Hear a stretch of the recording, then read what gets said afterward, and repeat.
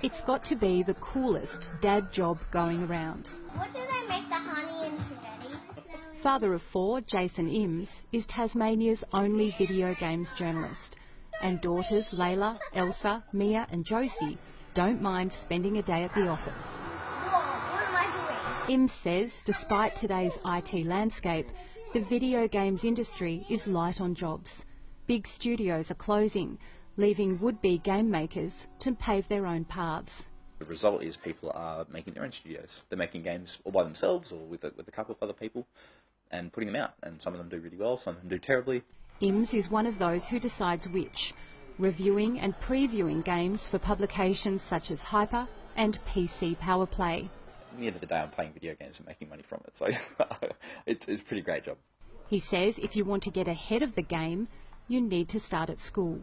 It's never been harder to get a job making video games um, in Australia, but it's never been easier to make the game that you want to make.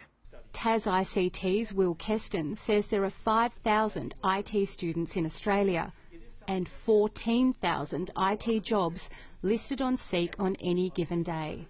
An ICT degree is like an arts degree in the past or even like a law degree not that long ago. He says technology will dictate how our future adults shop, study, even see doctors, and that 75% of jobs won't necessarily be in the IT industry, but they will be technology based whether it's the medical field or the aged care field or agriculture. I mean, drone technology is how, how farmers are checking their crops. Chip technology is how they're checking to see the health of their livestock. But if you think having a swipe savvy, gadget geek toddler like this one means your child is ahead of the pack, think again. Kids are fantastic at utilizing technology, but they're not very good at creating it and knowing how it's created. And he says that's the key. We need to learn from a very young age how to create rather than play games. I think as soon as they start to read and write, they need to start to learn about coding. Imms has started Tasmania's first game development society based on interstate models. Every month they have a game jam. This one, sponsored by UTAS, is about creating educational games, a break from reviewing the less academic ones. As well as working at home, Jason Imms works here in the city at a place called Secret Lab. But others in the IT sector are increasingly moving into places like this. This one's called Parliament, and there are only about six places like this in Tasmania.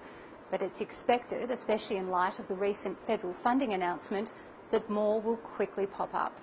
Malcolm Turnbull has unveiled his innovation and science agenda with tax breaks for startups, which work from hot desks in places like these. There's also a focus on coding in schools and luring more women into IT. For now, Imms can only teach his girls how to play games. Learning to make them himself is something he'd like to try. And who knows, maybe that'll be something they can one day teach him. Alison Costello, Win News.